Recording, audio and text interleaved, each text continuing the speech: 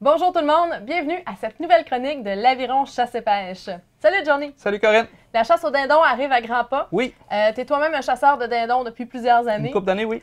Euh, J'aimerais ça que tu nous parles pour la chronique d'aujourd'hui de l'équipement que tu vas utiliser toi-même quand tu pars euh, en forêt. Mon item principal, c'est ma veste de dindon. Ouais. Pourquoi une veste de dindon? Les vestes de dindon ont été conçues et adaptées pour être capables de tout transporter le matériel nécessaire pour faire nos chasses. C'est ça. Tu sais, quand je dis adapté, là, on a une petite pochette qu'on est capable de traîner des munitions euh, de surplus. Il y a une pochette pour mettre notre téléphone. J'ai Oui. une pochette pour mettre toutes les cales, les différents cales qui existent. Euh, j'ai même un compartiment pour ma bouteille d'eau. En arrière, j'ai une grande pochette que je vais être capable d'emmener mes appelants ou même ramener mon dindon si la chasse a été positive. J'ai aussi un siège d'intégré qui est plié ici en arrière. Si je fais de la chasse fine, je décide de m'arrêter sur une roche ou sur une souche. Je fais juste de Tu descends le coussin. descendre puis, le euh, coussin puis j'ai mon prêt. confort. J'ai pas besoin d'avoir de chaise avec moi. Ah, c'est bon. C'est vraiment ergonomique. Oui. Euh, maintenant, peux-tu nous parler un petit peu des cales ou des Oui. choses que tu apportes Euh, au niveau de l'équipement? un des cales euh, classiques, la boîte pour euh, caler le dindon, euh, très facile d'utilisation. Il y a des modèles qui vont être imperméables, il y a des modèles comme celui-ci qui fonctionnent avec de la craie. Euh, il y a beaucoup de modèles de différents sur le marché. oui.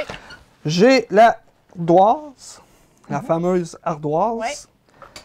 Ça fonctionne Avec un bâton Ouais, qu'on appelle un striker. Il y a beaucoup de surfaces disponibles. Il y a des- du verre, du cuivre, euh, euh, de l'aluminium. Chaque surface va nous créer des sons différents. Chaque striker va nous créer des sons différents. Fait que deux ardoises différentes, deux strikers différentes, ça nous fait comme quatre cales. Oui, parce que ça, do- ça donne une bonne variété, parce que je pense que les dindons ont quand même une bonne mémoire. Oui, Alors, euh, surtout si vous êtes comme moi puis vous chassez le même territoire année après année puis vous manquez un dindon, ben dites-vous que si vous avez le même call l'année d'après, vous le verrez pas plus. Votre dindon, il va se souvenir de vous. Fait Fait, que très on- important de varier les sons. on s'entend que même euh, le lendemain matin ou deux jours après, euh, si on utilise les mêmes cales et on vient d'en manquer un, c'est Il y a des bonnes gagnant. chances que ça soit pas bon. Euh, J'ai le glou-glou. Des fois, ça va aider à faire bouger un dindon qui est trop craintif. Un classique, pas trop cher. Euh, les fameux diaphragmes. Mhm. Le câble le plus difficile à utiliser, mais le plus efficace côté son. Euh, le truc, c'est beaucoup, beaucoup de pratique. Il y a des modèles qui sont plus faciles à utiliser, puis il y a des modèles un petit peu plus compliqués. Euh, une bonne euh, avantage pour ça, c'est qu'on a les mains libres. Fait que Ouais. si vous faut vous bouger, le dindon est près de vous. Euh, Ben, ou juste on est épaulé, on est prêt à tirer. avec le diaphragme dans la bouche, vous allez être capable de finir votre chasse sans bouger. Les cales de localisation, euh, que ce soit la chouette, que ce soit la corneille, euh, euh, ça, on va utiliser ça les après-midi puis en soirée quand on fait la prospection. C'est pas en situation de chasse, mais c'est pour trouver nos dindons pour la chasse ou très tôt le matin.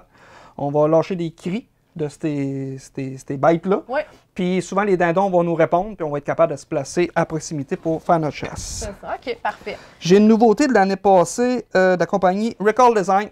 C'est le Yelper. Mhm. Ça, c'est un câble à succion. Sur le côté américain, c'est des câbles très, très populaires. Belle nouveauté. Oui. Euh, au niveau des appelants comme Oui. qu'est-ce que tu vas préconiser? Euh, je vais travailler beaucoup avec une femelle comme celle-ci en position d'accouplement.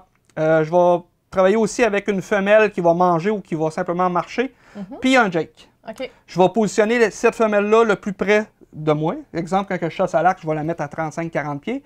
Puis je vais aller porter mon Jake à la- au. Pas tout à fait au maximum que, Ouais. où ce que je peux tirer. Fait que si mon dindon focus sur le Jake, ben, je vais être capable de prendre un tir.